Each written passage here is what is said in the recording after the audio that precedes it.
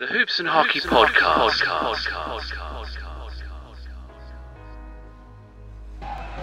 Balls into Taylor. At eight seconds. What's he going to do? Oh, a little fake there. Gets past Watson into the lanes. Jumper goes! And he's fouled. One to come. And the Scorchers taking the lead. We're down to 15.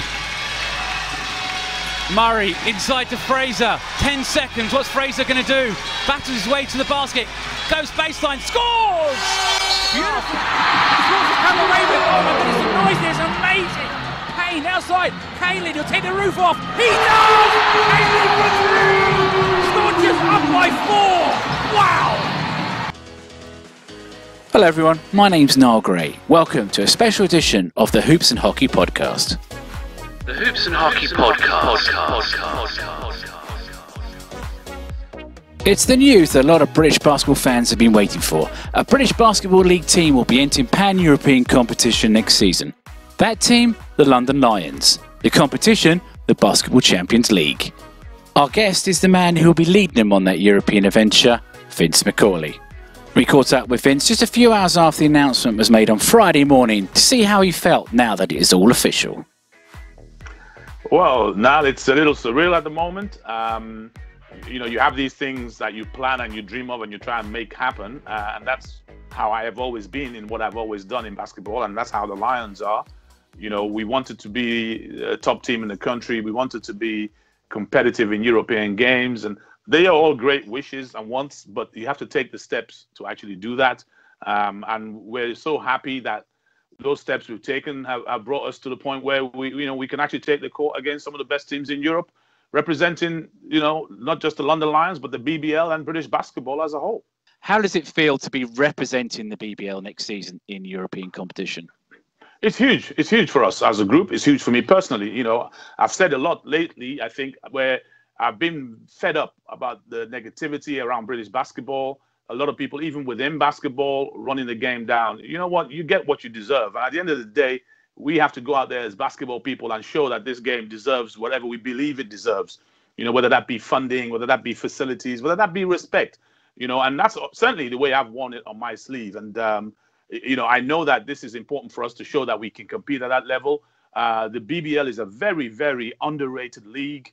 Um, and, and when people say it enough that it's not good, it tends to permeate other people. But actually, it's very, very underrated. And I think we have an opportunity to surprise a few people. We've got to kind of work on what our brand of British basketball is and how we can take that against some of the behemoths that lay out there. One of the things when teams go into Europe is they obviously adjust their roster what are you going to do differently about recruitment this year? Are you going to have like a lot more British players, or are you going to try and get players who've played in Europe? What's your philosophy? You don't have to give any names away, obviously. Come, but what, what's your philosophy when you're going to recruit that squad? Well, you know, it's. I'm not sure we can get any more British players. I think we already have ten British players. So you already, you know, we've already flown that flag. Um, we certainly have the best British player in Justin Robinson. I hope. You know, hopefully we'll be able to announce shortly. You know that we can get him over the line. That's a, you know this this announcement was a big decision in his decision making process. Um, but yes, in terms of the recruitment, I think um, we're going to obviously need a very very deep team. Um, we're in conversation with the BBL. We, we, you know we talk regularly about what that might look like. Um, we have some hurdles to overcome vis-a-vis salary caps and things like that, and how we can maneuver around that rotation of players. Um, I spent a lot of time talking to the guys at Leicester about how that was for them in the difficulties that they faced. You know, travel on a Tuesday, sorry, travel on a on a, on a Monday to get somewhere on a Tuesday to practice that night, play on the Wednesday, fly back on a Thursday, and then you're in Manchester on the Friday. So there are challenges. So the depth of the squad, the quality of the squad uh, is going to be important, and I think more so the quality. Um, we've got to get guys who've played in this competition, maybe even higher. You know, if we can get some I don't know where else they play EuroLeague players maybe or NBA players. I don't know. If we can do some of that stuff, that puts us in a better position. Right. You said you obviously spoke to the riders. What what did you learn from their experience? Well, I think first of all, it was credit to them that they took that leap uh, that no one had done in a long while. You know, to coach Paternostro, Kevin Routledge at the club, and obviously Russell Levingston, who makes things happen down there. I went down to Leicester every time to watch every game and help them commentate on the TV and see the teams, learn from them. And I think the travel was the biggest thing that they talked about. The travel, the the just the hours on the road, the you know coming back, not being able to prepare properly for your weekend BBL games, um, the injuries and the stress and strain on the on the players' joints and muscles. You know, 22 of you. You know how it's like when you're going on holiday with a family, going going through the airport security, you can't take any water. Well, you got 22 blokes with you who drink gallons of water. You know, 700 pounds buying water the other side of security. I mean, these are all things that no one ever thinks about. We think about the bright lights and the winning basket, but if you don't get those things right, you're never going to get the opportunity to take the last shot. Why is it you feel that so few teams? I mean, well, you mentioned the Riders there. I think the previous team before that was the Guildford Heat, about yes. 10, 11 years before that. Why is it so few BBL teams do try the European route? It's very difficult now. It's very, very difficult. I think logistically, it's massive challenge as we've just talked about. So that, in it, in fact, mm. has an impact on the kind of team that you, you must have on and off the floor. And then it's very expensive because how do you blend those player requirements within what we do in the BBL? And even if we didn't have issues of salary cap, you know, it's still a lot of money. Um, and, and, we're talking about a COVID recovery, recovery COVID situation, shall I, shall I say, and, and what that's going to look like. So it's a challenge on everyone. But I've come at it from a slightly different angle on the on the basis that COVID isn't just affecting us; uh, it's also affecting some of those big teams out in Europe. Um, mm. I do believe that whether we whether there was COVID or no COVID, and we were going into this competition, um, we were going to be starting from zero. Now, we you look at the teams now on, on I mean we haven't had the draw yet, but you can see the teams who are in the qualifiers, and you got you know teams from Serbia, teams from Lisbon in Portugal, and places like this. They would have been 10 out of 10 had we been facing them in a non-COVID situation. We're facing them in a post-COVID situation. They're going to be less than 10. They might be seven, six, five. Who knows? So this is a great opportunity for us to make that first challenge for the London Lions. And if we can get in there and lay a solid foundation, maybe we can build on that, and maybe other BBL clubs can build on that. Do you have an opt out in play, an opt out in place if you drop out of the BCL, or will you go into the FIBA Europe Cup? No, no, we're, we're in here for the long haul. We're, you know, we're in here with our new partners. They want to see a successful British team in Europe, whatever that means. So yeah. we don't have an opt out. We are opting in. We are opting in fully into playing in Europe. Um, should we not get to the group stages, and by the way, the group stages is our goal, then of yeah. course we will play in the in the FIBA Europe Cup, and and why not? Why shouldn't we? We should do. We should. We've got lots to learn, and, and every game we play out there is going to be another brick in the wall. Yeah, I'd say the incentive to get to the group stages. I mean, FIBA touting this as their strongest BCL lineup ever, and you look at the teams in the group stages, and I'm sure there's lots of teams in there you would just love to go up against. well, we don't want to go up against Hapoel Jerusalem right away, if that's okay. um, yeah, I, I, mean, when you look at it from a holistic London point of view, you know, Greek teams, of course we want them. Lithuanian teams, of course we do. Israeli teams, of course we do. We get any of those teams at the Copper Box, I can see a full house because look at the the people who live in London who who come from there, who recognize the game, you know, who respect the game in their countries like we don't respect it in ours, and maybe we can force the media to pay some attention um, everything isn't about football. There are other people, superb elite athletes, male and female, competing at a very, very high level in this country, and they, they deserve that equal respect. I noticed when the um, Guildford Heat were in Europe many years ago, and I also noticed a similar stint with the Riders, that when it comes to a, Euro, a team, uh, sorry, BBL team playing in Europe, fans tend to forget their tribal loyalties they have at the weekend and support the team that's playing in Europe. Will you be able to attract fans to Copper Box from other clubs next season? Well, well, I hope so. I mean, we've had some very kind messages uh, already online, on social media, everywhere, personal messages, and so on. Uh, you know, you know, I, I, think we're all basketball fans, like you said, and, and and like I mentioned about Leicester, I enjoyed watching you know homegrown British players playing against some of those European teams. You know, with ex NBA players on the rosters.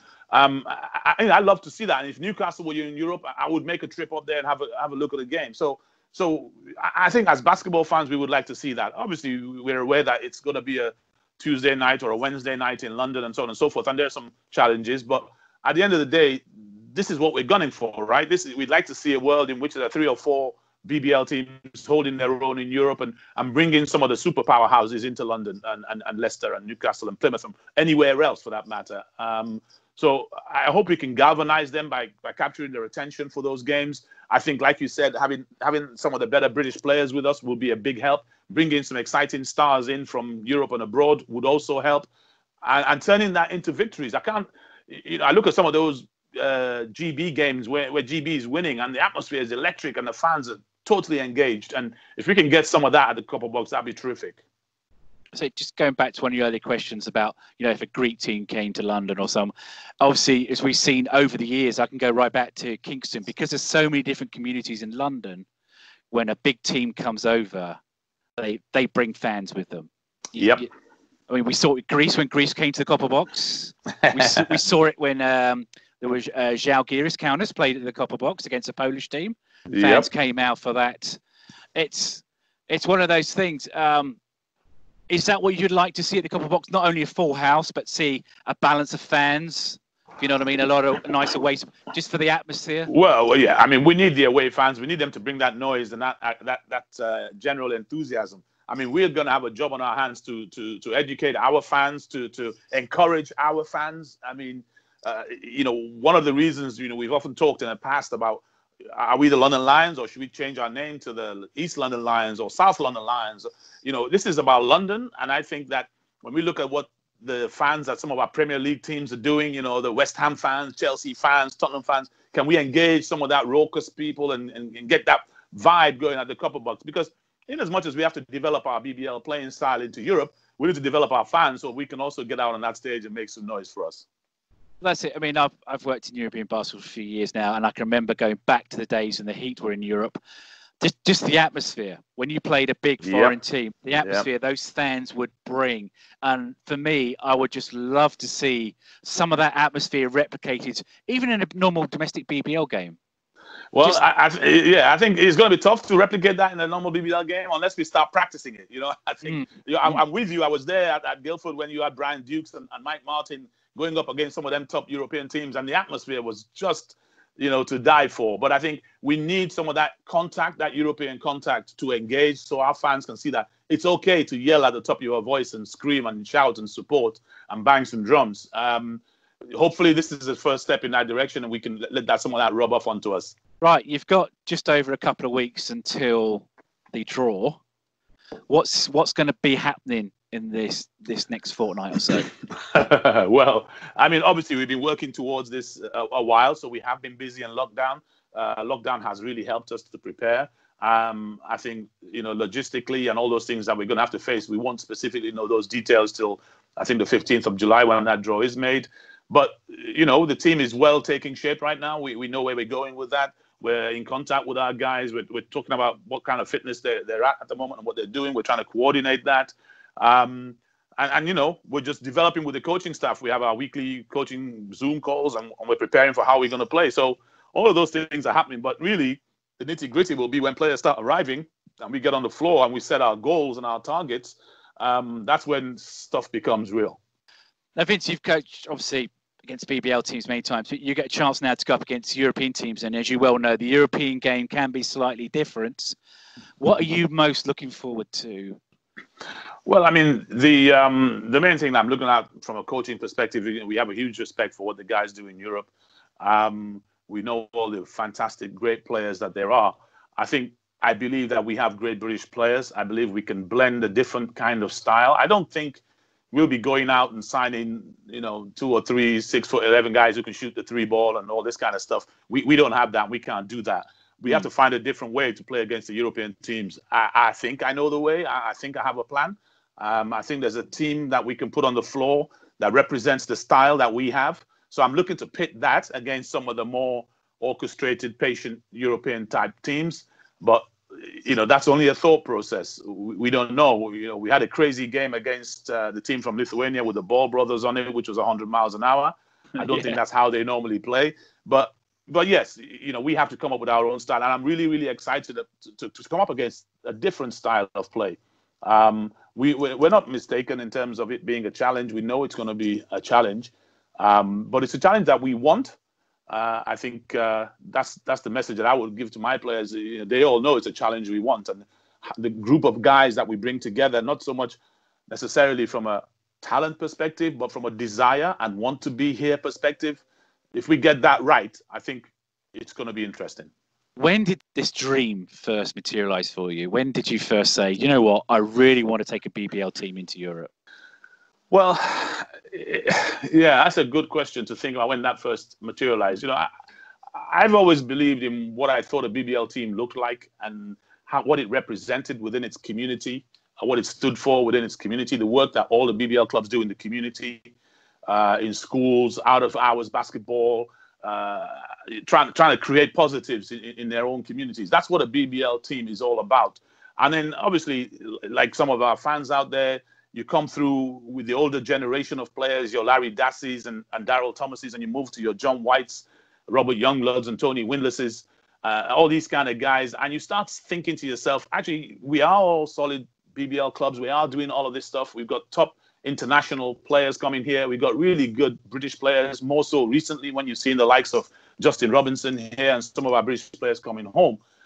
It's it's as we moved into the copper box and you looked at that venue, a, superb venue, international venue, and you're thinking, actually, with our community clubs in the BBL and the style we play and the right players, why can't we take our rightful place alongside some of those European teams? I, know the funding structures are different and they get the facilities for free and the councils give them money and all this kind of stuff. But put all that to one side, if we could get to a position where we could actually give ourselves a good shot. So I've been thinking about it seriously, I would say, for the last seven or eight years uh, but slowly coming to fruition as we move towards winning the championship here and having more and more British players actually wanting to be part of it. Uh, looking forward to next season. Um, do we even know roughly when we might be able to get fans back in the building? Because obviously you want that copper box rocking, don't you? Yeah, that this is a big one, and obviously we you know we are in the middle of a pandemic, albeit with slight easing of lockdown. I mean, I think now that we're moving to the one meter separation, that's good. But obviously, indoor facilities are not open. Theaters are being decimated. Um, I'm hopeful that the next two weeks could see venues open. Uh, whether it's with or without social distancing, I don't know. But if we have to, if we have to be meter distanced watching games, then that's not so bad in a six and a half thousand seater facility. I think that means we can get a third, a third or so, to two and a half thousand people in there. Um, that would be a start, but it would be great to to to get to what mid September, moving towards October, and actually also all of us, everyone, really come out of this lockdown situation in a positive way and do the things that we love to do. I was actually just thinking the other day, if there's one venue where you could have a slight bit of social distancing, it would be the copper box because you've got upstairs and downstairs. And like, Absolutely. And it, Absolutely. It, but ideally, you want that game, that first game, you want that to be rocking. So what are you going? What's the plan now? Obviously, once you get the go ahead, once I mean, we obviously we don't know when it's going to happen, but once you get the go ahead to say, yep, you, fans can start coming back to arenas again. What's what happens then? Are you just going to go full full throttle well, on the marketing? Yeah, we have to. I mean, you know, as you know, as you know, we have our giant screens across London uh, yeah. which promote the game. So we, we need to be back on there. You, you know, we, we have a marketing company coming on board now to engage us with radios, with, with, with TV stations. Um, and, and obviously, uh, uh, hopefully, our acquisition of players and we can get our players out there to spread the word so people know that it's happening. I think that's the biggest thing, especially coming out of lockdown, that people know it's happening and, and wanting to represent. I think we'll be all out there telling everyone what that game is, who it's against, and what it is, and, and asking them to please come and show support for British basketball uh, what's the interest been like since it's been announced the Lions are entering Europe competition? Well, it's it's only been six and a half hours, and it's been phenomenal. The, the, we've, we've got three people answering media inquiries. We, have got people doing all sorts. I've been nonstop on the phone. Uh, the assistant coaches have been handling stuff. It, it's the interest has been through the roof, and uh, if we can maintain this at this rate, we'll be doing well. Now, I'll finish off on this. Is you've been around the I know you long many many years. You've been a, you've been around the game a long long time. Do you feel like a little kid at the moment, like at Christmas? I certainly do. I, I, certainly do. I sat down having my cup of tea this morning, and my wife said, "Why are you staring into space?" And I said, "Well, not quite sure how we got here, but my goodness, it's a great place to be at." Well, I wish you the best of luck, Vince. I shall be down definitely to some games next season. Thank uh, you. No, no, we'd love to have you guys down there. Obviously, you know, you do a terrific job promoting the sport, and we need more and more of that. For more information about the draw, which takes place on Wednesday, July the 15th, and how you can watch that draw live, visit the official Basketball Champions League website, which is championsleague.basketball. That's all for this special edition of the Hoops and Hockey podcast. If you like what we're doing, please hit that subscribe button or give us a like. Bye for now.